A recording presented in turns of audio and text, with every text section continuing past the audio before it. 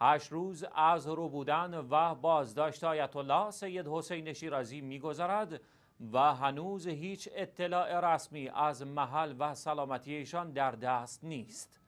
با وجود تماس های مکرر دفاتر مراجع تقلید شهرهای مقدس قوم و نجف با دفتر رهبری ایران با گذشت هشت روز هنوز هیچ گونه خبری رسمی از سلامتی آیت الله سید حسین شیرازی به دست نیامده است. برخی منابع غیررسمی از انتقال ایشان به زندان مخوف اشرت آباد در تهران پایتخت ایران خبر می‌دهند. این منبع خبری گفته که آیت الله سید حسین شیرازی عصر شنبه 19 اسفند ماه از بازداشتگاه اداره اطلاعات سپاه قوم به بازداشتگاه 59 سپاه پاسداران در پادگان ولیعصر اشرت آباد تهران منتقل شده است. گفته می شود این انتقال با حکم ابراهیم رئیسی دادستان کل ویژه روحانیت ایران صورت گرفته است. این منبع غیر رسمی تاکید کرده آیت الله سید حسین شیرازی در بازداشتگاه سپاه قم حالشان مساعد نبوده تا جایی که در مسیر انتقال برای ساعتی در درمانگاهی متعلق به سپاه پاسداران در بلوار ابوذر شهر تهران مورد مداوا قرار گرفتند.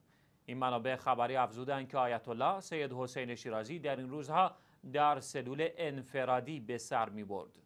دوستداران وابستگان و خانواده ایشان با مراجعه به زندان اشرت آباد جویای احوال ایشان شدند اما مسئولان با رفتاری تند و خشن اظهار بی اطلاعی از ایشان کردند.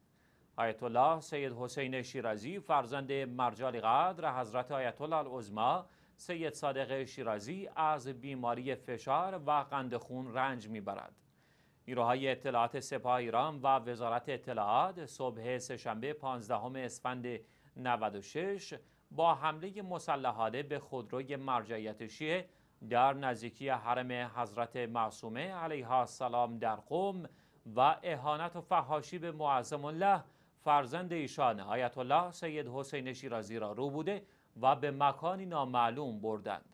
این اقدام حتاکانه ایران واکنش جهانی شیعیان را در پی داشت و موجب برگزاری تجمعهای اعتراضی در مقابل سفارت و کنسولگری های ایران در کشورهای مختلف شد. همچنین طلاب حوزه علمیه قوم و برخی علمای شهر مقدس نجف و حوزه های علمیه شهر مقدس کربلا این اقدام را محکوم کردند. از سوی دیگر علی متحری نایب رئیس مجلس ایران بازداشت آیت الله سید حسین شیرازی را غیر ضروری و اشتباه دانست. همچنین در این رابطه صدها مرکز اسلامی، حسینیه، مؤسسات حقوق بشری و حوزه های علمی در سراسر جهان با صدور بیانیه های جداگانه این رفتار زننده مقامات ایران را به شدت محکوم کردند و خواستار آزادی فوری ایشان شدند.